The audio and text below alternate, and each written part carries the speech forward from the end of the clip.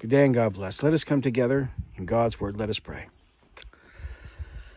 Lord, for the grace of the day, for the grace of your word, and for the grace of every breath of life, we give you thanks. We give you thanks for that life that is our own and the joy of life we get to share with one another and with all creation as you call us to care for creation, to be in the midst of it, to walk through it, to enjoy it, to celebrate it, but Lord, to bring it as praise before you, even as we bring in our harvest, even as we care for our livestock or our pets, Lord, to bring all of creation in joy and in charity and in gentleness and in kindness, to bring it together before you as a as a sign of our love for you as we love one another in your name.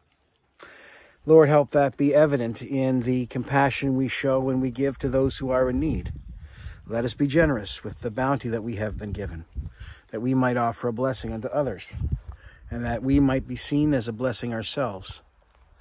Lord, we ask your care and compassion to shine from those gifts that you have given unto our minds, our strengths and abilities. That those of us who are called to offer healing and in the service of healing to bring vaccines and treatments into people's lives that we will be seen as the gifts we are meant to be, the miracles that we sometimes find ourselves being.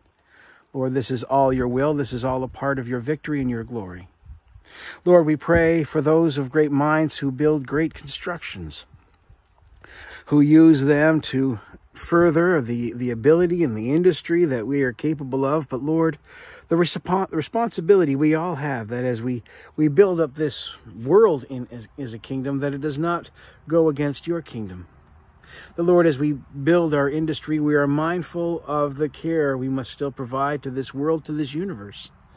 And so, Lord, teach us a better understanding and call us to greater wisdom with all of our ability, Lord, show us the path to life that is also humility, that we might do what is right, what is good in your eyes, just as you put creation together and gave it purpose. That in all these things, as we are blessed, so Lord, the praise, the, blessing of praise will come to you. In Christ we pray. Amen. And turning to God's word, we turn today to Psalm 103.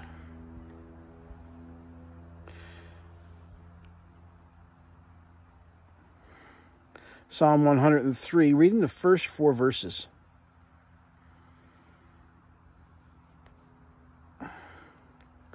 Bless the Lord, O my soul, and all that is within me, bless his holy name. Bless the Lord, O my soul, and forget not all his benefits, who forgiveth all thine iniquities, who healeth all thy diseases, who redeemeth thy life from destruction, who crowneth thee with a loving kindness and tender mercies. And the psalmist goes on to describe more and more and more of the Lord's justice and the, the way that judgment and, and peace is, is meted out.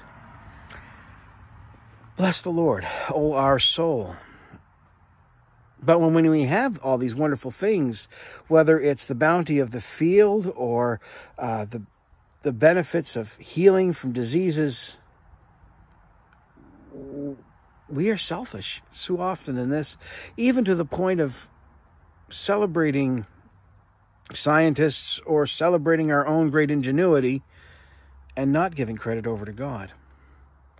You know, there are some people who will say that uh, you shouldn't get treated for one disease or another because it doesn't come from God. But according to this psalm, we bless the Lord who heals these diseases. And how did God do that?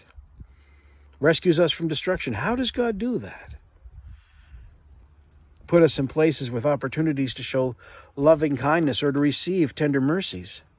How does God do that? Well, that's the calling we have, each one of us and the abilities that God has woven into us. And in that ability and in that life, we have an opportunity to bless the Lord or in our own selfish will to curse the Lord. And that is what sin is. So we should treasure the gifts, treasure the abilities that are being shown, treasure the incredible wisdom that is out there. and hand it all over back to God and say, Lord, let whatever we do glorify you. And I hope you have an opportunity to glorify God in the things you, you do and you celebrate and you receive and you humbly rejoice in. For God loves you. And God has sent a world of blessings to surround you. God bless and keep you. Amen.